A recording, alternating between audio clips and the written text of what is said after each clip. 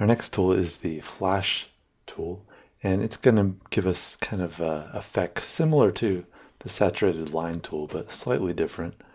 And you can find it. Here's our uh, the menu we've been working under, but right below it, there's the letter A. If we click on that, and for some reason, it's included with the text tool right next to it, even though it's nothing like the text tool. This is one of those things where I would rearrange these, but for whatever reason, it's put under the text tool and it has several options. And let's just click on one and take a look. So this, if I drag a circle again, it is going to create this kind of flash shape that we can modify. We can change the number of uh, points and so on. There's all kinds of ways we can change it. Yeah, so toy around with that. The next one is the flash, and it it has two colors. And anytime there's two colors with one of these tools, it's going to be using our foreground and our background color. So let's take a look. And release, and I'm going to zoom in so you can see this. The edge has this spiky look, which is using our foreground, and the purple is our background color. And you can, again, we'll change this when we look at colors later on. And the next one is the dense flash.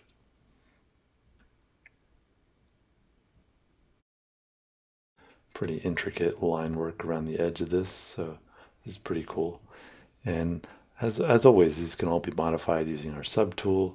Lots of changes we can make to these. Lots, lots of stuff we can do that would take me an entire course if I went over every single thing. So I'm not going to go over every minute detail, but I think you can uh, play around with these on your own and you'll be able to figure them out. Most of them are pretty uh, self-explanatory.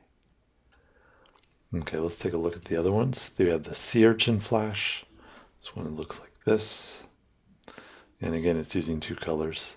Oh, I accidentally hit it again, so it's right there as well.